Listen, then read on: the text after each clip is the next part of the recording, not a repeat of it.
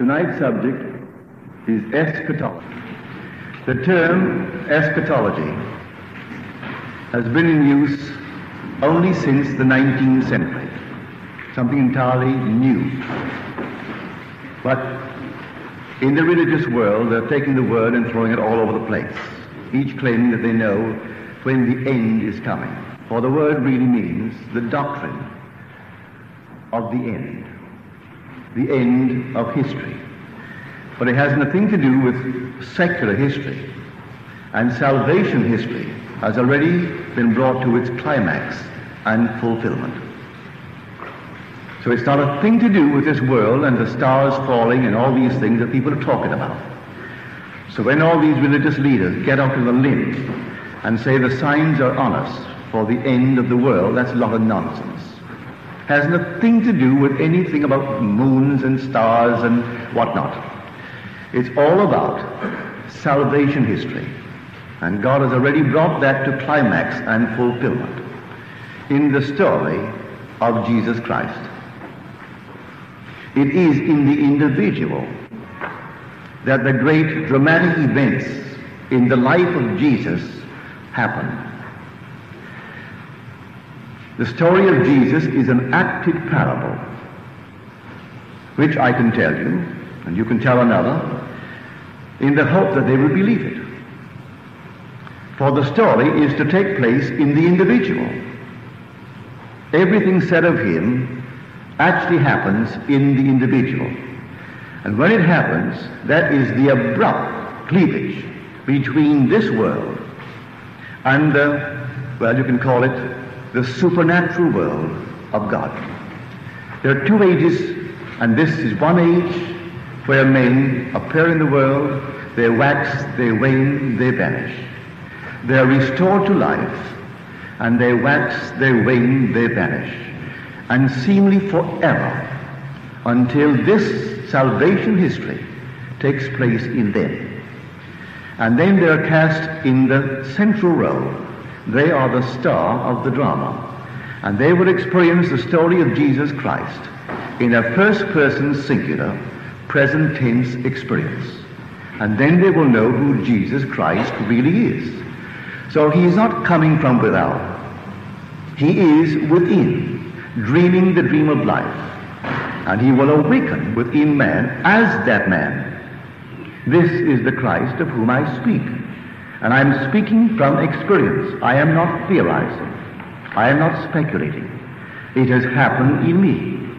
And no one could have been more surprised than the speaker when it erupted in me and completed itself in the same number of days as it said in Scripture that it would take. 1,260 days for the four major events to take place. Other events take place too, but they are not of the major, yet they're all related to Scripture. Everything is paralleled in Scripture. For he said within himself, I have come to fulfill Scripture. What Scripture? That which was foretold concerning God's plan of salvation. Now, if you want to read the story of eschatology in the Bible, you will read it in the 13th chapter of the book of Mark and the 24th chapter of the book of Matthew. In these chapters, it is said, they looked at the buildings, these lovely buildings, and one called his attention to the fact that these buildings were beautiful. and he said, You see these buildings? There shall not be left one stone standing upon another, but what it shall be cast down. And then they asked him, When will this be? When will it take place? And he warned them that there will be false prophets, false teachers, who will come into the world and say, I am Christ. Do not believe them. Oh, they'll perform wonders in the hope that they will mislead and lead astray, if possible, even the elect. But take heed, I have told you all things beforehand. What he tells you is his life story. It's an acted play, as though I took you tonight to a play. At the end of the play, I interpret the play for you. And I tell you that you saw it as something from without. And then I try to persuade you that what you have just seen is a play that will unfold in you, and you will be cast in the star role. Whether you will believe it or not, that's entirely up to you, but I'll show you the play. And having seen the play, then I will try to tell you what it means. And this is God's plan of redemption, God's plan of salvation. And everyone will be redeemed because it is only God redeeming himself. It is God who came into the world of death. And it is God who departs from this world after his purpose has been fulfilled. And the purpose of the descent into the world of death is to expand himself. His wisdom must expand. He is not omniscient. There will be no way to live if you are everything now. His power will be expanded because he is not omnipotent. Therefore, everything is an expansion, and to reach that expansion, he first must contract and limit himself to the state called death.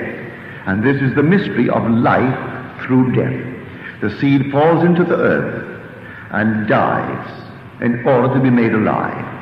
If it doesn't, then it remains alone. But if it dies, it brings forth much. And the bringing forth is the expansion of God. And we are the gods who form the God. So every child born of woman is a son of God, the power of God, the wisdom of God. But completely forgetful of that fact because it had to put on these garments of death. And then it will know when it's about to depart from this world by reason of these signs. And when the signs begin to unfold in them, and they are not spectators of the signs, they are the central figure. They are the star in the entire play. And everything surrounds them, then they know who Jesus Christ is. So we are warned in the 13th chapter of Mark. If anyone says to you, Look, here is Christ, or look, there he is, do not believe it. Because they're pointing to another Christ. If I say, look, there he is, I'm showing you another. There is no other Christ than the Christ in you. God actually became man, that man may become God. So if there is any Christ other than that universal Christ that is crucified and buried within man, that Christ is a false Christ. And false teachers talk about it and tell you of a Christ who is going to come from without and tell you of another Christ who came 2,000 years ago. The story is an acted parable. So when Paul had it erupt within him, these are his words to the Galatians. And scholars are all agreed that the, his letter to the Galatians is the first New Testament book, written approximately 50 years AD. They consider that letter the oldest of the New Testament works. And in this he turns to the Galatians. He said, O foolish Galatians, who has bewitched you? Before whose eyes Jesus Christ was publicly portrayed as crucified. Let me ask you only this. Did you receive the Spirit by works of the law or by hearing with faith? Are you so foolish, having received the Spirit, are you now ending with the flesh? Well, the whole vast Christian world and those who hear of the Christian mystery have ended with the flesh, for they think in terms of a fleshly being called Jesus Christ. And this is not a fleshly being at all, while I walk this earth as a being of blood and flesh. In me, in an entirely different realm, the plane of salvation erupts, which abruptly cleaves this space, this time section, from an eternal world of salvation. When these signs appear in you, you will know this is the end of your history in this world. No more dying, no more being restored to life, having gone through the gate of death, only to age only to wax and to wane, and then to be restored again and continue the journey indefinitely. When these things begin to happen in you, you are at the end of history.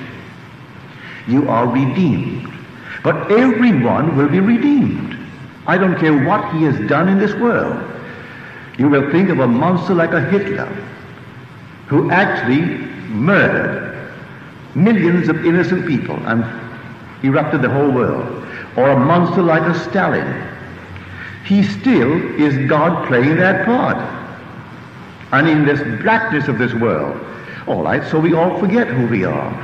We look at upon ourselves projected and see others, and we find them as enemies to our little wants, our little desires, and then we go berserk, as these characters did. But they are redeemable. Not one can remain unredeemed, for it would be God losing himself. God is the creative power of the universe, and that God is your own wonderful human imagination. That is God. There is no other God. But man doesn't know it while he's in this state. And he moves through events after events in the secular world. He hears the story, and the men who are now self-appointed to tell it do not know it. And they teach a Christ of the flesh. And he tells you, I am born, not of blood, nor of the will of the flesh, nor of the will of man, but of God. This second birth that will take place in you is born in that manner. It is born from above. When you were actually placed voluntarily, no one placed you in the tomb. No one took your life. You laid it down yourself. You were the God who made the decision. And you and I collectively agreed on this for the expansion of ourselves. And we entered death's door, which is simply the human skull. And in that skull we laid down. And there we began to dream collectively this great dream of life. We are the gods who came down. And we are the gods who will one day enact the drama of salvation within us. Now, when will it happen? We are told in Scripture, no one knows.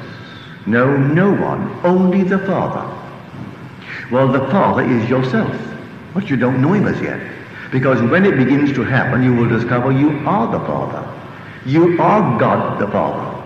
As the whole thing begins to erupt within you. But only the depth of your own being knows to what extent he has gone in the dream. And when he reaches the end of the dream in the world of Caesar, then he awakes and you are he.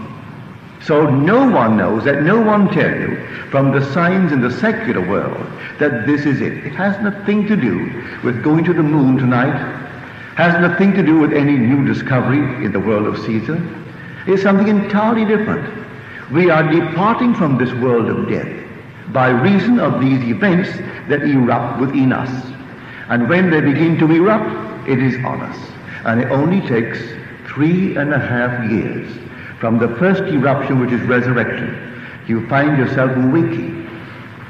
Now you're told in Scripture, we shall all be changed in a moment. Not a few of us, all, in a moment, in a twinkling of an eye, at the last trumpet. For the trumpet shall sound, and we shall awake from the dead. Well, that's told in beautiful imagery. No one is sounding a trumpet. The word trumpet means, by definition, reverberation. And may I tell you, if you think that you've had a, a vibration in your body, you might have held at one moment an electrical current. You might have, and survived it. And you might have had the experience of an intense vibration that you survived. But wait until this happens. When this happens, you have never in eternity felt such a reverberation. Your whole being reverberates and you think you can't possibly entertain any other thought than that this is it. This must be a massive hemorrhage. This is what they mean when one actually dies of a massive hemorrhage. But you don't die. Instead of dying, for the first time you begin to live, for you begin to awake. And when you awake, you awake in your skull. to discover that your skull is a tomb. It's a sepulchre in which you were buried. And you enter that sepulchre voluntarily. No man takes away my life. I lay it down myself. I have the power to lay it down and the power to lift it up again. This is your story. You volunteered for the experiment. And you actually deliberately entered death's door, which is your own skull. And you don't know that you're there. You think you're on the outside. You wash your body, and you look into the mirror, and the outer man is reflected, and you do everything for an outer man. You go out and you make a dollar, try to save a penny of it, that you may have something tomorrow. And you struggle in this world of an outer world, and yet you are dreaming it. You are in your own skull. You are the immortal God in your own skull dreaming this dream of life. And when you decide that you have finished the dream, you played all the parts. Oh, you played everything in the world. You played the decent person and the one who is not considered the decent person. You played the harlot and you played the lovely Mother Superior. You played the wonderful Pope or the Bishop, the holy man, and you played the unholy man. You played the thief and the judge who sat in judgment of the thief. You played every part in the world, and no one is going to escape playing all the parts. And when you have played all the parts, and there is no other part to play, no one knows what is that end part you're playing. You may be a good businessman when it erupts. You may be a doctor. You may be a thief. No one can tell you what is the last part you're going to play because no one knows the order in which you played them. But you will play all the parts. And there are only so many parts. There are 12 major characters, and then many, I would say, modifications of these 12. Scripture re- reduces them to 144,000, but it starts with 12, only 12 sons. And then we multiply it by 12, then multiply it by 12, and he brings it to a limit of 144,000 modifications of the 12 major characters. But you'll play them. And if you haven't played them, you're going to play them. Because you will not awaken from the dream of life until you have played them. But no one's going to keep you in this world beyond that last character. And then when you reach it, suddenly you know who Jesus is. And he never was another. So if anyone ever tries to tell you, look, there is Jesus Christ, don't believe him. Or here he is. They could perform wonders, do all kinds of things, but don't believe anyone who points outside of you and says that is Jesus Christ. For Christ in you is the hope of glory. There is no other Christ, and he is your own wonderful human imagination. So don't look to any sign in the world. This is a marvelous thing that we in our land today, looking forward to our boys landing on the moon. I think it's terrific. As far as I'm concerned, I'm thrilled beyond measure. And I hope I'll be right next to that TV on Sunday to watch that boy descend, or the two of them descend. And I can't tell you my thrill, I don't know them, but I'm an American by adoption, and that's my thrill, to watch it. Not only because I'm an American by adoption, and my wife and my children are Americans, but I am a member of a human race. That's man. But that's not eschatology has nothing to do with the coming to the end of this drama. You and I are redeemed from this world of death by a series of events. And these events are recorded as events in the life of Jesus Christ. But it is in the individual that these majestic, dramatic events in the life of Jesus happen. They happen in us, but individually. You are too wonderful to have it happen collectively. You are a unique being, and no one can take your place in the eternal temple. And that temple is not something built like this. It is a body. It is a man, a real man, a living man, made up of humanity. Believe it or not, it is a man, and that man is infinite love. I stood in his presence, and it's a man. And you can't think of anything but love in the presence of this man. And that man is the risen Lord. And we are called out of this world one by one to be incorporated into that body. But then we are living stones, not dead stones. We are returned from the world of death. And in us, we are life-giving spirits. Without loss of identity, we are part forever of that one living body. There is one Spirit, there is one Lord, there is one God and Father of all. It's a mystery, and the world teaches it as secular history, and it's not secular history. So when you hear these men who are highly publicized speaking that this looks like the end, and he hopes he'll be here when Jesus comes, they don't know who Jesus is. And so when some lady rose the other night and told me that I was most cruel to mention this person's name, who was highly publicized, I mentioned his name, I thought of the words of Lincoln. And Lincoln said, to sin by silence when we should protest makes cowards of us all. And so he is speaking because he's highly publicized and millions are listening to him and think what he has to say must be true. But he doesn't know the first thing about the mystery of Jesus. So he spends 15, 20 million dollars a year in publicizing himself and his work. So what? Hitler was well known too, and so was Stalin. And there were millions who believed in them, but they were as false as the three dollar bill. And why must I restrain the impulse to tell you he doesn't know Jesus Christ and his mystery? Jesus Christ is an acted parable, just like a play. We have no record in this world. Search as we have searched, we have found no evidence for the historicity of a man called Jesus. And yet it's the truest story ever told. It happens in man.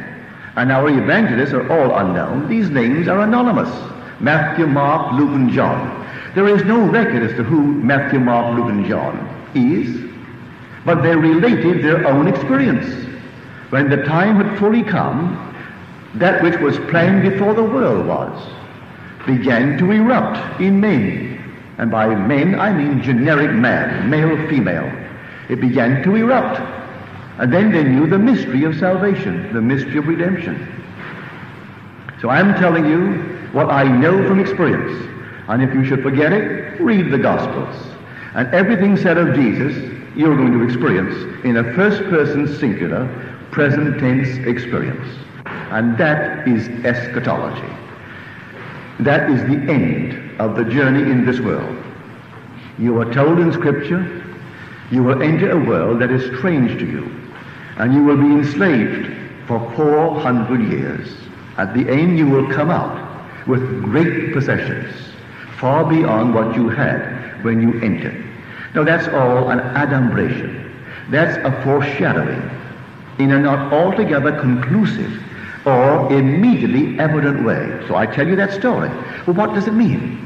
These are words stated in Scripture as being uttered by the Lord to one called Abraham, the father of the multitudes. So he goes into a land that is not his, a strange land, and he's a stranger in the land, and he's enslaved there for 400 years. What 400 years? You must first understand that in the Hebraic tongue, every letter has a numerical value as well as a symbolic value. Well, 400 is the numerical value of, of the last letter of the Hebrew alphabet, the letter Tov. There are 22 letters, and then there are five finals, which repeats five of the original 22. But basically, there are 22. The 22nd letter has the numerical value of 400. And the symbolic value of that letter is a cross. And the only cross on which the Lord was ever crucified is this. The human form, that is the cross. And this is a strange world to God. In the sense, it's a world of death, and God is the God of the living. But here was the challenge. Not to pretend that he had died, but to die. Actually coming and take the form of death, which is man. And to go through the gate called death and experience death. And still be restored to life. And to continue and die again and die again. And then finally, by his predetermined plan, to rise from it all, enriched beyond what he was prior to that. Greater power, greater creative power, greater wisdom, greater everything that he had prior to that. So this is the play. And the only Christ is that Christ, not a single little being that was born of a woman who didn't know a man. Then he will be pretending. I must take on the weaknesses of the flesh and all the limitations of the flesh. If I came in here and my earthly father didn't know my earthly mother, and that was something entirely different, I can't teach anyone. I haven't experienced it. No, he had to know my mother, and she had to weave in her body a garment that was a body of death. And I had to occupy it. And so I came in just as every child. And at the end of the journey, I had to awaken within my own skull and then experience the entire story of Jesus in the first person, singular, present tense experience. So everything said of him, I have experienced. Yet don't let me for one moment tell you that would imply, as I talk to you, that I am Christ, meaning I am other than what you are. I know the mystery of Christ. But don't point to me and say he is Christ, then you'll be a liar. Let no one tell you there is Christ or here he is. Don't believe it. For the only Christ that you will ever know, you will know in yourself when you experience the story of Christ. Then you'll know you're he. But you don't talk about it. You don't tell anyone to brag having them point to you as something different from the universal Christ. No. You are, and one day you will awaken. And when you return at the end of the journey, you and I knew each other before we came down. We were brothers then. And we will be brothers again. And in spite of what we did to each other in our dream here, we are still in love with each other, infinite lovers, as sons of the Most High. And it takes us all, as sons of God, to form God. God is made up of the gods, and we are the gods. We are the sons of God that came down by a definite voluntary decision. We weren't forced into it. We came out. The story is told in a beautiful way in the prodigal son. The first son didn't go out. He had everything, but he didn't know he had it. If tonight I had a billion dollars here in the banks of our country. But I didn't know that I had it. Do you know I could die of starvation for want of a dollar? If I was so given that I wouldn't steal, I could be so hungry, and because I would restrain the impulse to steal, not knowing that I had a billion dollars and could buy the whole thing. But if I didn't know it, I could die of starvation. Well, that's what we did. We came down into a world that we own and then completely forgot the power that is ours and the wisdom that is ours. And many of us played the part of dying of starvation rather than stealing what we thought we didn't have, when all along we owned it. It was all ours, all for the taking, without any consciousness of stealing. But we played the part of the thief and played the part of everything in this world. So, no matter what a man has done, forgive him. Completely forgive him. I saw in today's New York Times. This survey was just completed, and they brought in their conclusions, these professors back east. Some grant they received from some one of the great foundations. And they investigated 30 ex-convicts who are now in small business back east, confessing that they earn a net of 10,000, 20,000, 30,000 a year. That's their confession. And then they said, you know, they have what all great business leaders need. They didn't go so far as to say great business leaders have it. Because they're all a bunch of thieves anyway. That's what the professors are telling you. Without that innate something to steal, there couldn't be chairman of the boards. There couldn't be presidents. There couldn't be this. Now, banks are asking 9.5% for a big loan, a $10 million loan. But that's not enough. They want a piece of the action. They carry no risk in the piece of the action. They're going to get their 9.5% on their $10 million loan. Get it all back. And that enormous usury. Plus, they want a piece of the action. In other words, they want to be part of the profits. But they're not take any risk. They are not for one moment taking any risk. And they are the big giants well, I wonder if they taught the mafia or the mafia taught them. But that's the same attitude that the mafia adopts. But now they're singled out as horrors. So may I tell you, forgive every being, for in the end, when you come to the very end, and you see the play, and see this entire thing as a play, you too will say, Father, forgive them. They know not what they do. They don't know it. They're playing it beautifully. They're playing their parts beautifully. And so if I must play that kind of a part, and I have played them all, or I could not now have experienced the drama of the end. If I didn't play the part of the usurer, where I demanded not only 9%, the chances are I got 100%, plus pieces of the action. And so I can forgive him. And so the present conclusion is there had to be. And these 30 men, thoroughly investigated, they have what it takes for successful businessmen, and they are in business in a small way. And today, a small business is the most difficult thing in the world for these conglomerates. How do you survive? But they have the know-how because they're ex-convicts. And they have that power to be independent, like all big businessmen. They want to be independent. They want to stand upon their own feet and venture and take chances. The average person won't take a chance and he won't venture.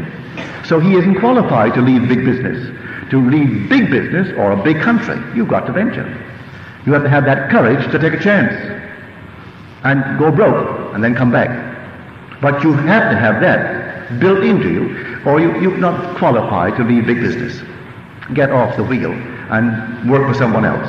But these ex-convicts, and the only difference between the convicts that are investigated, whose story is now brought in today's New York Times, and the big leaders of industry is one was caught and the other wasn't. Only difference. One was caught and the others were not caught. Now that seems cruel. Well then, judge me if it's cruel. But I say God is playing all the parts. And it took all the parts for God to awake from the dream of death. And he dreams it, and all of a sudden he comes to the end. So eschatology is the doctrine of the last things. And the last things are the dramatic events in the life of Jesus. And all these events take place in the individual as the individual's personal experience. Then he knows who Jesus is. And the word Jesus is the same as the word Jehovah. You spell it Yod He Vav Shin Ayin. But the root is Yod He Vav. Jehovah is spelled Yod He Vav He the unpronounceable name, that sacred name, is the name Jesus.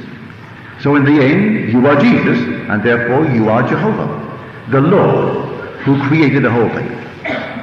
So this is eschatology in the true sense of the word. And let no one mislead you by telling you that they're seeing the stars, signs of the end of the world. No end of the world. This world is going on indefinitely. Not a thing is coming to any end. If you blow it up, man will rebuild it. If we have a nuclear war, you aren't going to destroy this world. It is a cradle to hatch out God. This is a world of educative darkness. And you aren't going to take a schoolroom and improve it to make it a home.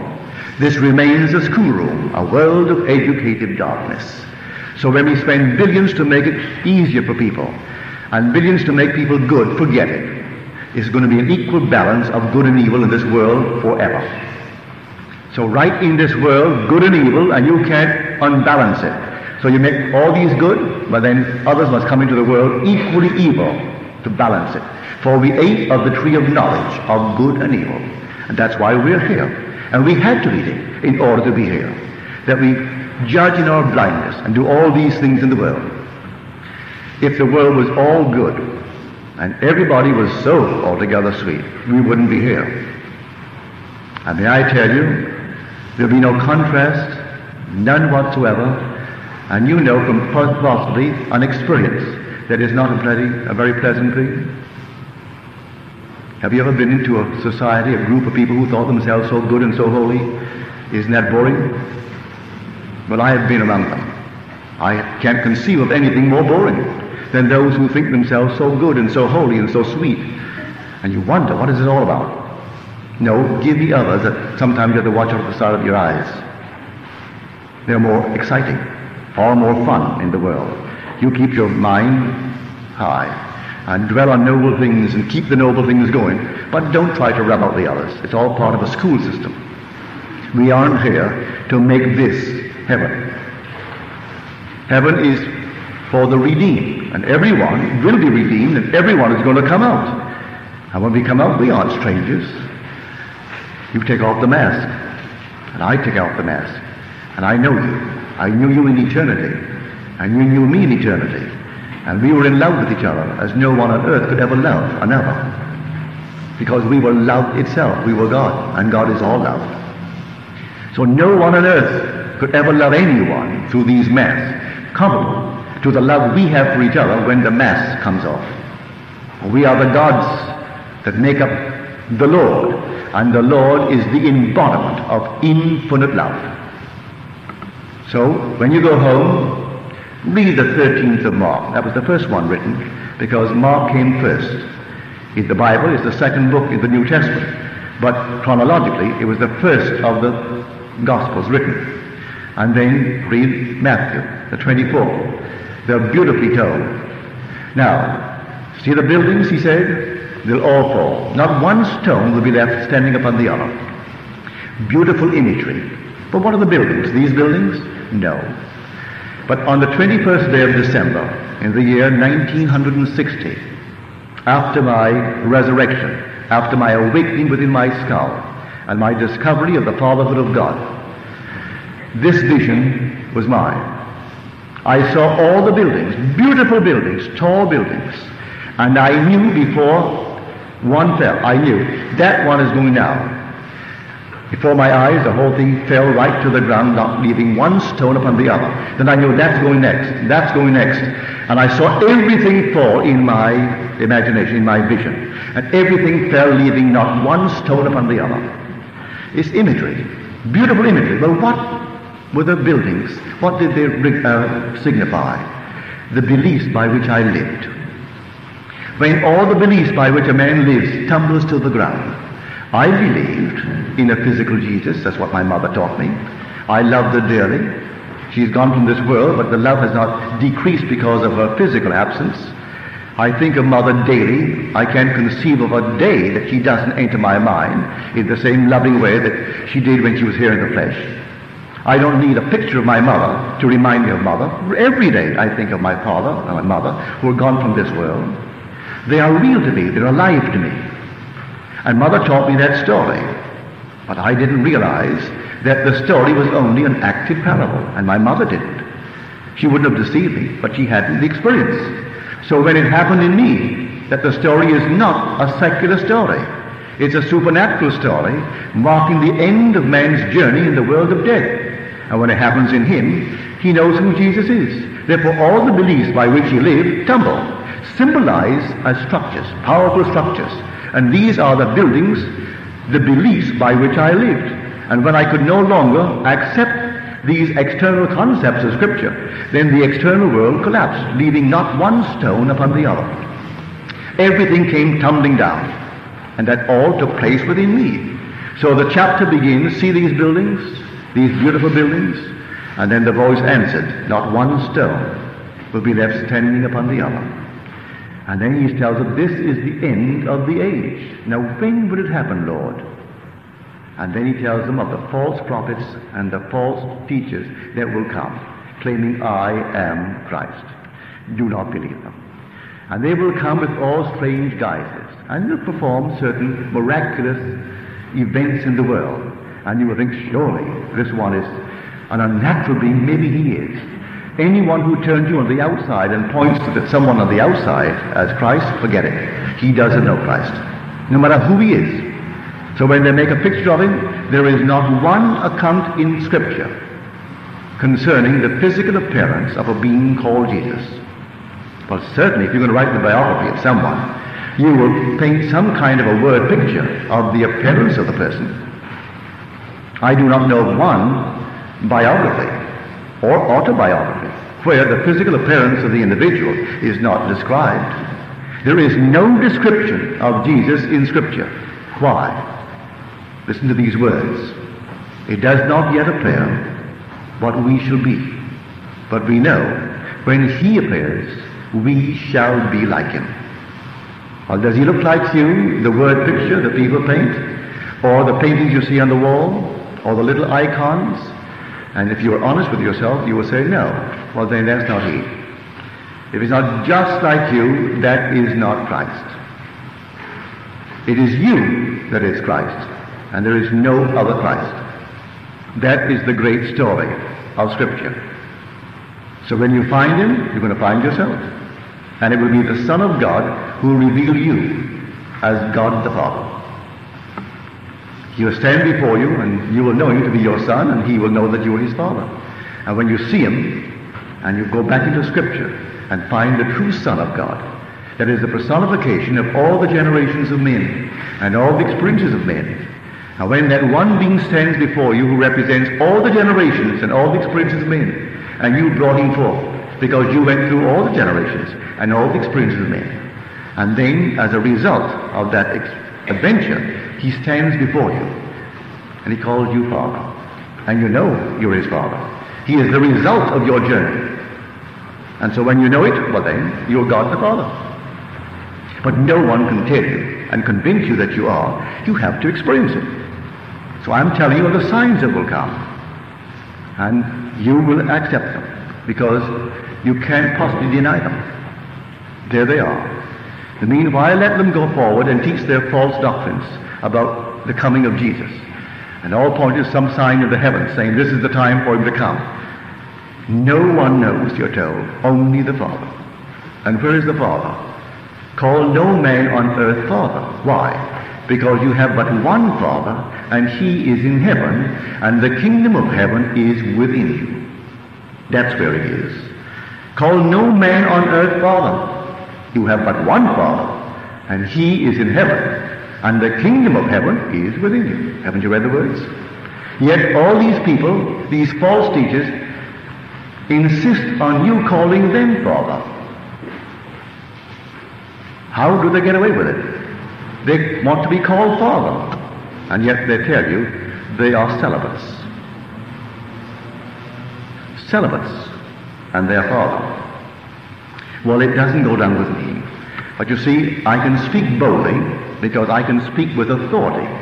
Because my authority is based upon experience. I have experienced the mystery of Christ. And so I am not theorizing. I am not speculating. So when someone challenges my right to say, well, go on and challenge it. You're only listening to a false doctrine when you point to some Jesus as a being of flesh.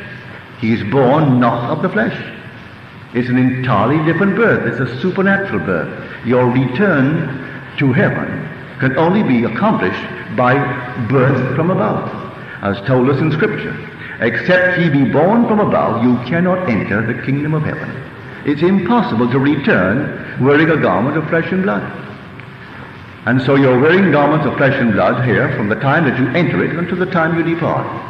You depart tonight through the gate called death, you are dead. No one dies. At the very moment they call you dead, you are restored to life in a garment just like the other one, only young. Not an infant, about 20 years of age. Nothing missing, no teeth missing, no hair missing, no eyes missing. Perfectly restored. Young and wholesome and healthy, filled with fire. And you too want to express yourself in the sexual world as you do here. You marry there too, just as you marry here. And you get old there too. And you go to the inn and you die there too, to find yourself restored once more to a young body, just like the other one, only young and beautiful. And you go on again through all the struggles, playing all the parts, until the time of the end. And when the time of the end comes, these eternal stories unfold within you. So there's no speculation about this. Sacred history has already reached its climax and its fulfillment. It's not being changed. Things here are being changed, but not sacred history. That's all done. And you will one day experience this sacred history. And you will know exactly who you are, and you are God the Father. Now, I will not take back one word I've told you because I know what I'm talking about. Didn't read it in the book. I'm like Paul. He said, No one taught it to me, never heard it from another, but it came through a revelation of Jesus Christ. That's what he said. He was the very one who went out to destroy the entire concept, but that it happened in him. And then he understood it was not the external worship of law, the rituals and all the things that the churches of the world do. Had not a thing to do with that. For you can't earn it. There's no acquiring merit to get into the kingdom. Just wait for that moment in time. So he tells you, set your hope fully upon the grace that is coming to you at the revelation of Jesus Christ.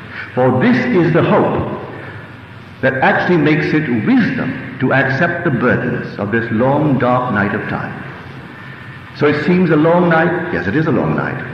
A dark night, yes. I am enslaved for my 400 years. My 400 being just as long as I wear the cross. But I am promised that at the end of the 400, meaning the end of the wearing of the cross, I will come out with enormous possessions, far, far greater than what I possessed when I ventured and volunteered to enter the world of death. And everyone is going to come out, not one can fail. When you return as the Lord, see that you're the groom. Now, are there any questions, please? If we have played a good number of these parts, as you suggest, why cannot we recall them back to mind? I have recalled many. So I would not say that we can't. The fact that one cannot recall him, does that signify that he hasn't played it? I wouldn't say that. No, I would not say that at all. I live a very modest life today. Quiet, modest, small income from my efforts in what I'm doing. For I'm self-employed and I take off voluntarily between three and four months a year because I find that I need that sort of rest. And I need it for the very ones who come regularly to my meetings. And yet, in my interval of taking off between three and four months a year, I have no income. Someone gets a month's vacation or two months' vacation, the corporation pays him. So he's paid. I'm not paid.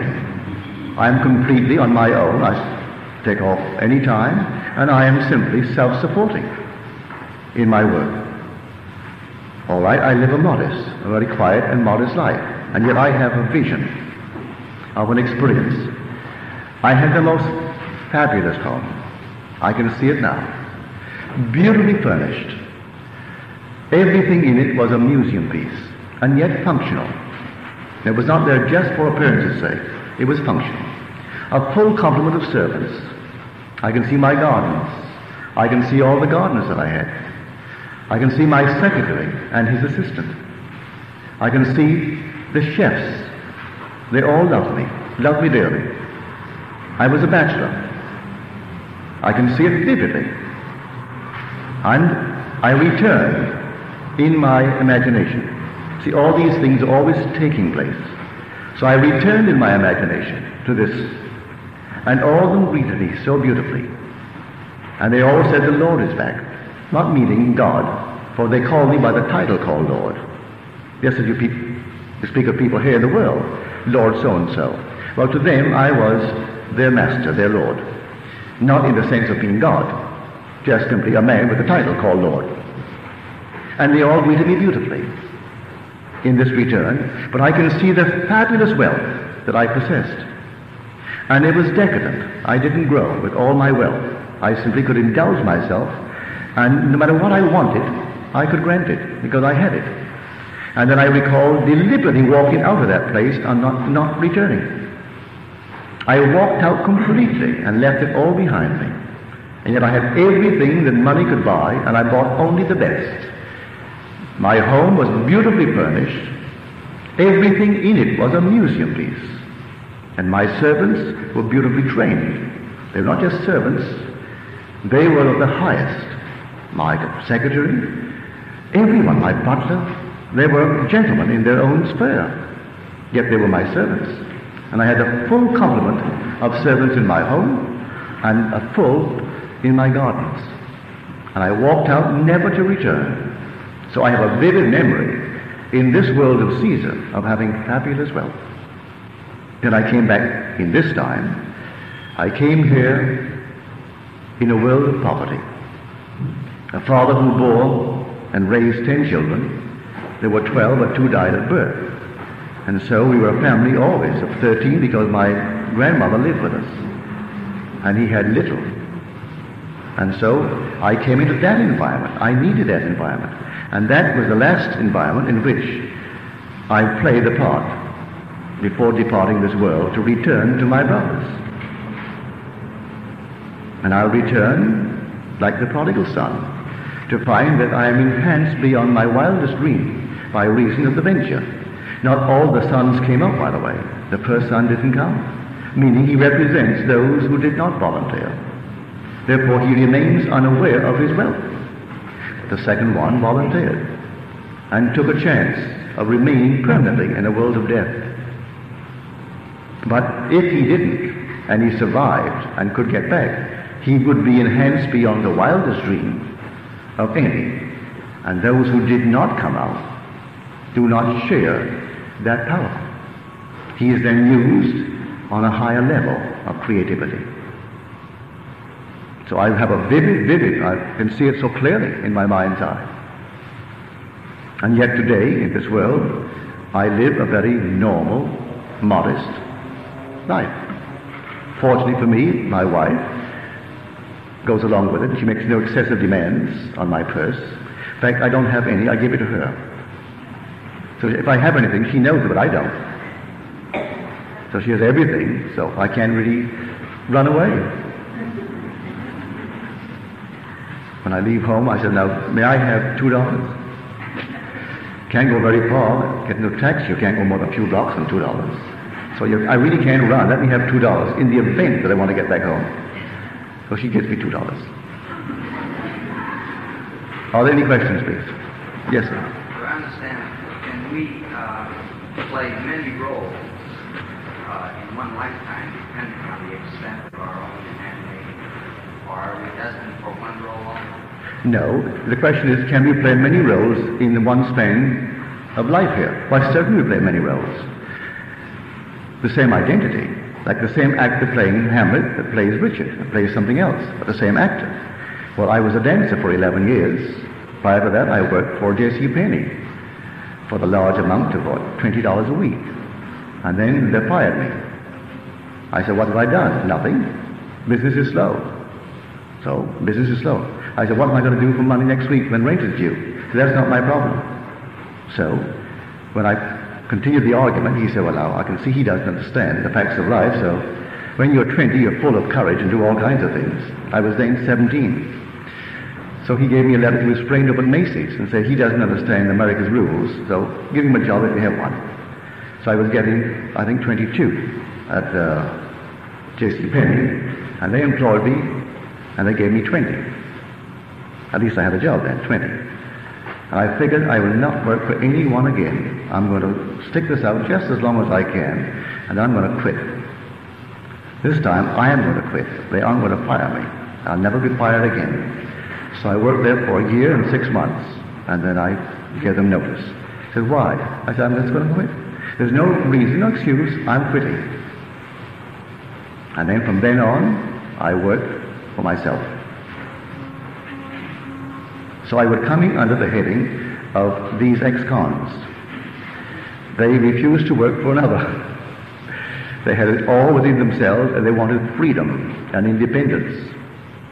All the qualities that they say big business leaders need and have. So you play all parts. I was a dancer.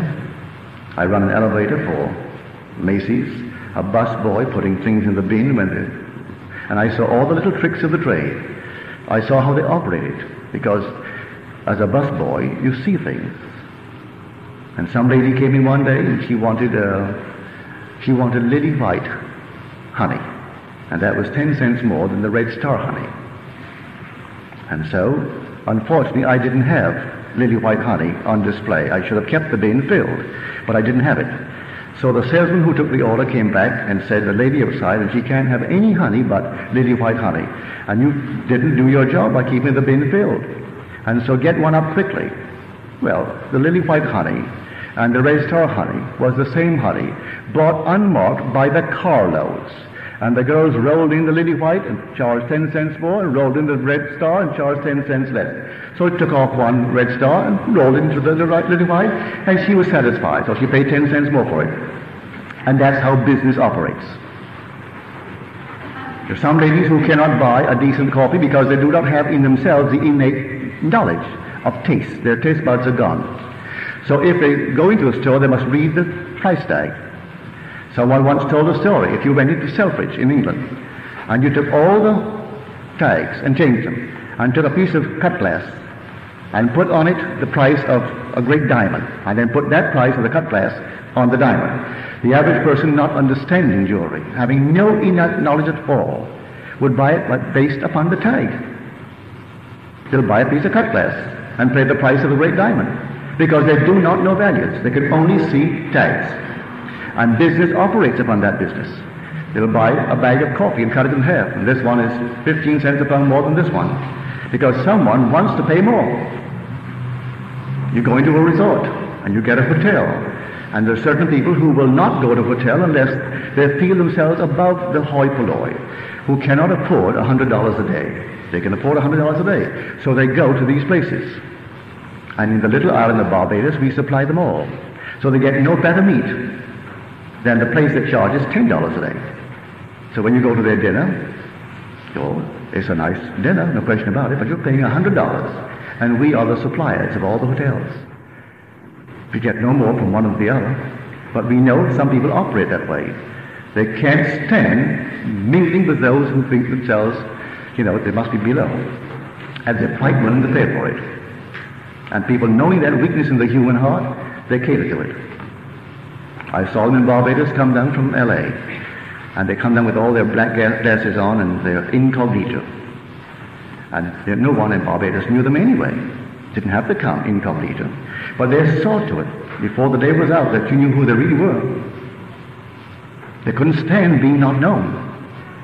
Oh, they came down with all their big black glasses and all these things, hiding under these things. But don't tell me you don't know who I am. I'll take it all off and spell my name out for you. You must know me. And then, of course, it comes out in the paper. Who do you think is here? And the average person reading the paper never heard of her anyway.